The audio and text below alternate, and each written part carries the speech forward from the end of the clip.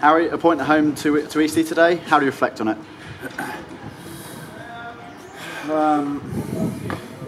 Look, I, it was a good game. I'm not going to lie. Eastleigh are a very good team. Uh, we, we both haven't got off to the, the best of starts to the season, so this was going to be an important game. I felt we dominated in majority of uh, the first half. Second half they came out and they kind of put us on the back back foot. Um, but we had enough chances really to kill the game off. Uh, just, it was just a shame it just didn't fall in the right areas uh, for us. But look, uh, we're creating chances. We're being strong. We're working hard.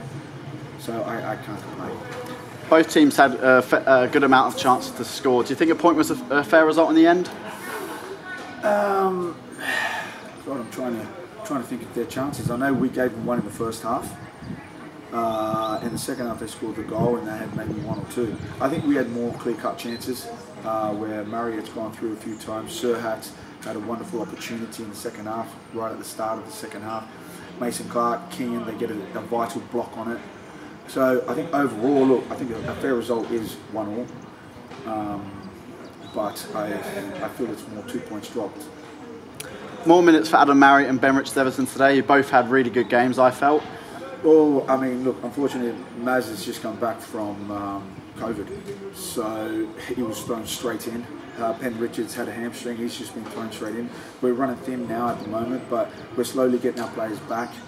Um, so, but you have to deal with it. You have to deal with it, and we're hopefully we can get one or two more players back for the next game, and then we go from there.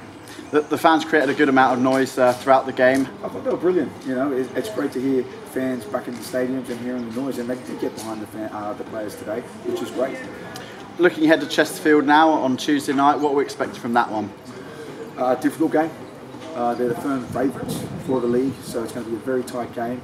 Um, I mean, a hard game. Uh, so we're going to have to put in the, the work ethic that we need to be put in, and we know what we need to do.